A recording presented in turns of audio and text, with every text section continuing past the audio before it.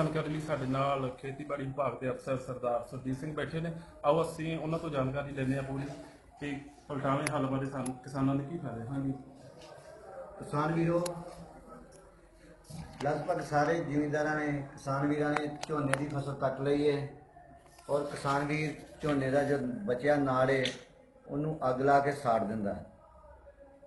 ਅੱਗ ਲਾ ਕੇ ਸਾੜ, ਨਾੜ ਸਾੜਨ ਦੇ ਬਹੁਤ ਸਾਰੇ ਨੁਕਸਾਨ ਹੈ ਜਿਨ੍ਹਾਂ ਵਿੱਚੋਂ ਸਭ ਤੋਂ ਪਹਿਲਾਂ ਤੇ ਅੱਗ ਲਾਉਣ ਨਾਲ ਵਾਤਾਵਰਣ ਬਹੁਤ ਜ਼ਿਆਦਾ ਪ੍ਰਦੂਸ਼ਿਤ ਹੁੰਦਾ ਹੈ। ਉਸ ਤੋਂ ਇਲਾਵਾ ਖੇਤਾਂ ਦੇ ਦੁਆਲੇ ਜੋ ਬਨਸਪਤੀ ਹੈ, ਉਹ ਸੜ ਜਾਂਦੀ ਹੈ ਔਰ ਜ਼ਮੀਨ ਦੇ ਵਿੱਚ ਜੋ ਕੀਮਤੀ ਤੱਤ ਨੇ, ਉਹ ਵੀ ਨਸ਼ਟ ਹੋ ਜਾਂਦੇ ਨੇ। ਅੱਗ ਲਾਉਣ ਨਾਲ ਜਿਹੜਾ ਉਹਦਾ ਧੂਆਂ ਹੈ, ਸੜਕਾਂ ਦੇ ਕੰਢੇ ਤੇ ਉਹ ਧੂਏ ਨਾਲ ਬਹੁਤ ਜ਼ਿਆਦਾ ਐਕਸੀਡੈਂਟ ਵਗੈਰਾ ਹੋਏ ਨੇ।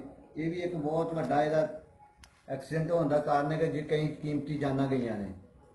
ਇਸ ਤੋਂ ਇਲਾਵਾ ਤਾਪਮਾਨ ਦੇ ਵਿੱਚ ਬਹੁਤ ਵਾਧਾ ਹੋ ਜਾਂਦਾ ਹੈ। ਸੋ ਕਿਸਾਨ ਵੀਰਾਂ ਨੂੰ ਬੇਨਤੀ ਹੈ ਕਿ ਨਾੜ ਸਾੜਨ ਦੀ ਬਜਾਏ ਇਹ ਜੋ ਨਾੜ ਹੈ, ਇਸ ਨੂੰ ਮਲਚਰ ਨਾਲ ਕੁਤਰਿਆ ਜਾਵੇ। ਜੋ ਮਲਚਰ ਹੈ, ਉਹ ਝੋਨੇ ਦੇ ਨਾੜ ਨੂੰ ਛੋਟਾ ਛੋਟਾ ਕਰ ਦਿੰਦਾ ਏ ਉਸ ਤੋਂ ਬਾਅਦ ਉਸ ਵਿੱਚ ਉਲਟਾਵਾਂ ਹਲ ਚਲਾਇਆ ਜਾਵੇ। ਉਲਟਾਵੇਂ ਹਲ ਚਲਾਉਣ ਤੋਂ ਬਾਅਦ ਜ਼ਿਮੀਦਾਰ ਆਪਣੀ ਖੇਤੀ, ਜਿਹੜੀ ਮਰਜ਼ੀ ਫਸਲ ਬੀਜ ਸਕਦਾ ਹੈ, ਇਸ ਕਰਕੇ ਕਿਸਾਨ ਵੀਰਾਂ ਨੂੰ ਬੇਨਤੀ ਹੈ ਕਿ ਝੋਨੇ ਦੇ ਨਾੜ ਨੂੰ ਨਾ ਸਾੜਿਆ ਜਾਏ ਔਰ ਇਹ ਤੋਂ ਹੋਣ ਵਾਲੇ ਨੁਕਸਾਨ ਤੋਂ, ਨੁਕਸਾਨਾਂ ਤੋਂ ਬਚਿਆ ਜਾਏ, ਵਾਤਾਵਰਨ ਨੂੰ ਪ੍ਰਦੂਸ਼ਿਤ ਹੋ ਤੋਂ ਬਚਾਇਆ ਜਾਏ। ਅਗਰ ਜ਼ਿਮੀਦਾਰ ਨੇ ਨਾ ਬਚਾਇਆ, ਤੇ ਅਪ- ਹੁਣ ਬਹੁਤ ਸਾਰੀਆਂ ਬਿਮਾਰੀਆਂ ਜਿਹੜੀਆਂ ਕਿ ਬਿਮਾਰੀਆਂ ਲੱਗ ਜਾਣਗੀਆਂ, ਜੋ ਕਿ ਮਨੁੱਖੀ ਜਾਨਾਂ ਨੇ ਉਹਨੂੰ ਖਤਰੇ 'ਚ ਪਾ ਦੇਣਗੀਆਂ।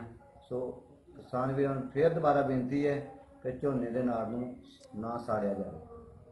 ਹਾਂਜੀ, ਅਫਸਰ ਸਾਹਿਬ, ਇਹ ਵੀ ਦੱਸੋ ਕਿ ਜਿਹੜੇ ਪਲਟਾਉਣ ਦੇ ਨਾਲ ਜਿਹੜਾ ਨਾੜ ਵਿੱਚ ਜਾਂਦਾ ਉਹਦੇ ਬਾਰੇ ਤੁਸੀਂ ਦੱਸੋ ਕਿ ਉਹ ਕਿੰਨਾ ਕੁ ਫਾਇਦੇਮੰਦ ਹੈ ਪੈਲੀ ਵਾਸਤੇ? ਜਿਹੜਾ ਨਾੜ, ਜਦੋਂ ਉਲਟਾਵਾਂ ਹਲ ਚਲਾਇਆ ਜਾਂਦਾ, ਸਭ ਤੋਂ ਪਹਿਲਾਂ ਤੇ ਮਲਚਰ ਚਲਾਇਆ ਜਾਂਦਾ। ਮਲਚਰ ਬਿਲਕੁਲ ਛੋਟਾ ਛੋਟਾ ਕਰ ਦਿੰਦਾ। ਉਸ ਤੋਂ ਬਾਅਦ ਜੋ ਉਲਟਾਵਾਂ ਹਲੇ ਉਹ ਥੱਲੀ ਮਿੱਟੀ ਜਿਹੜੀ ਉੱਪਰ ਕਰ ਦਿੰਦਾ, ਔਰ ਜਿਹੜਾ ਨਾੜ ਹੈ ਉਹਨੂੰ ਥੱਲੇ ਦੱਬ ਦਿੰਦਾ। ਉਹ ਵਿੱਚ ਗਲ ਜਾਂਦਾ, ਗਲਣ ਤੋਂ ਬਾਅਦ ਉਹ ਰੂੜੀ ਦਾ ਕੰਮ ਕਰਦਾ ਹੈ ਕਿ ਜੋ ਕਿ ਅਗਲੀ ਫਸਲ ਨੂੰ ਬਹੁਤ ਫਾਇਦੇਮੰਦ ਹੈ ਜ਼ਮੀਨ ਦੀ ਜਿਹੜੀ ਸਿਹਤ ਹੈ ਉਹਨੂੰ ਬਣਾਈ ਰੱਖਦਾ ਠੀਕ ਹੈ ਬਹੁਤ ਬਹੁਤ ਧੰਨਵਾਦ ਤੁਹਾਡਾ ਜੀ।